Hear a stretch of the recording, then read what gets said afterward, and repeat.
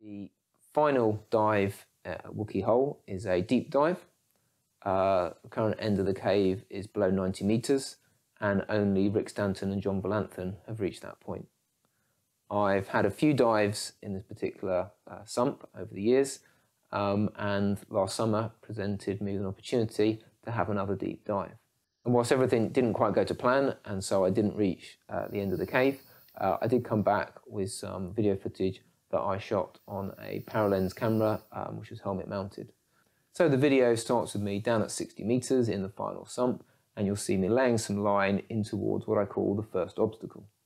So you can see me here placing a silt screw. This is a piece of plastic pipe, and by digging that into the gravel, into the, the sand, um, I can tie my dive line to it when there's nothing else to tie a dive line to. Whenever I go to this bit of cave, it's quite normal to see that the uh, dive line's been washed out. I've been here a couple of times and the line that I've installed previously has, has never remained. So on this occasion, um, I'm installing uh, some thick rope, some thick line. This is some six mil uh, dive line.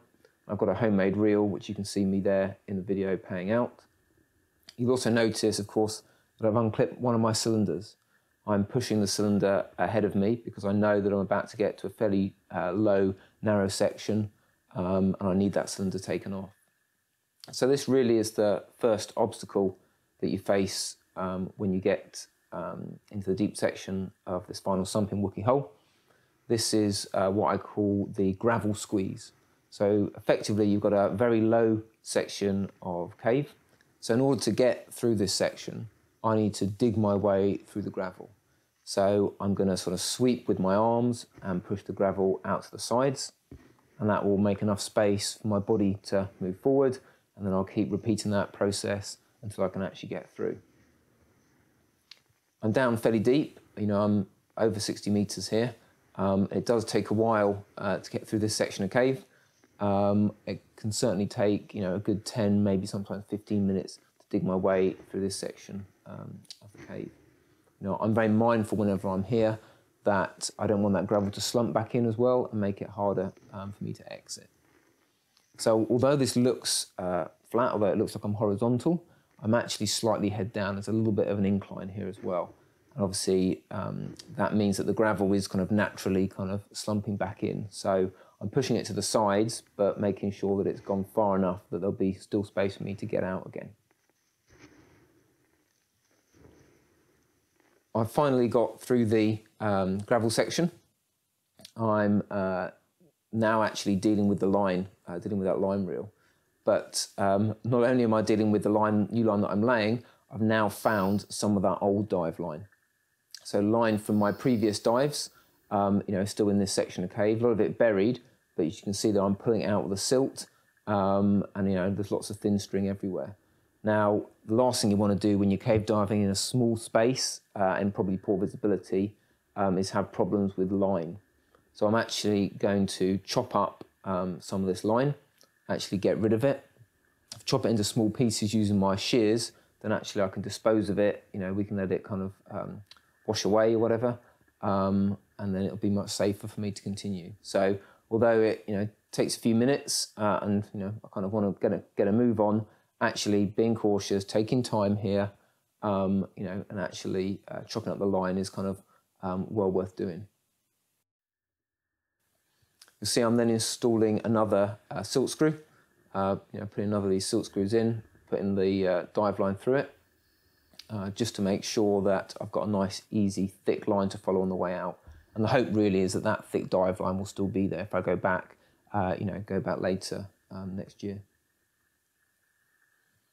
I'm just uh, looking down to where the cave opens up and uh, yeah, get through there and, and, carry on diving.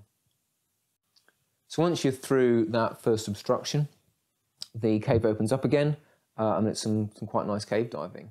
So it's a comfortable passage that I'm swimming along. Um, I'm sort of, you know, 66 odd meters here, so, you know, fairly deep.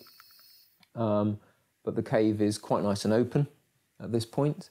Um, however, I know that it's not long until I encounter uh, the second obstacle, uh, which is, the, I think, the more significant one, certainly for me um, at this point.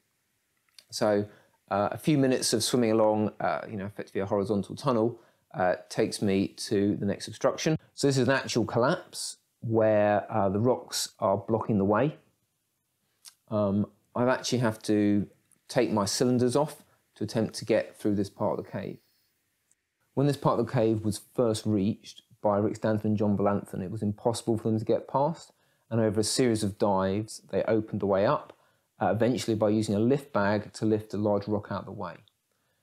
What that means, however, is that to get past this collapse, uh, you still need to squeeze between uh, some boulders. So it's fairly deep, you know, pretty much 70 meters here. I'm having to wriggle down between boulders. Um, and I've actually got to take um, not just one cylinder off this time, but I've got both my cylinders off. I've got the side mount rebreather still clipped on, but I've taken off, um, taken off the large cylinder, the, the 12 litre of Trimix that I'm using, and I'm wriggling down between the rocks here and actually pulling the cylinder down after me. Um, I spent quite a while trying to work out how to get through this bit of cave. Um, you know, I had several attempts.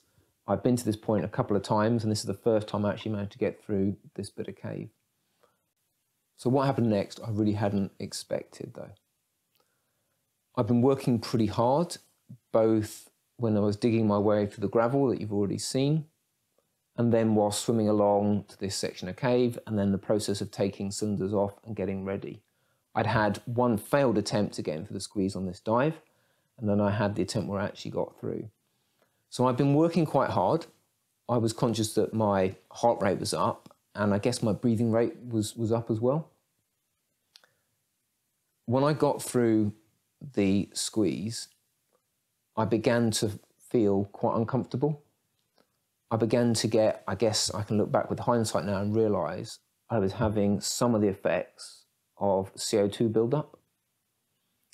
I got through the squeeze I couldn't get my breathing properly under control. I knew something wasn't right. I was having some problems breathing properly, and I decided very rapidly that I wanted to get out of there. I'd had enough. I was beyond the squeeze in a pretty intimidating bit of cave. I wasn't breathing right. I had an awful long, awfully long dive to complete to get, you know, to get out of the water. I really didn't want to be back down there. And you can see in the video, I'm moving fairly quickly uh, to try and get back up through that squeeze. And obviously I'm here to tell the tale. So I got back through the squeeze. I calmed myself down. My breathing rate um, got under control as well. And, you know, ultimately, um, you know, I completed the dive successfully. So some important lessons there. So I have a bit of a think about modifying equipment, modifying techniques, and, um, you know, let's see if we can have another go at Wookey Hole.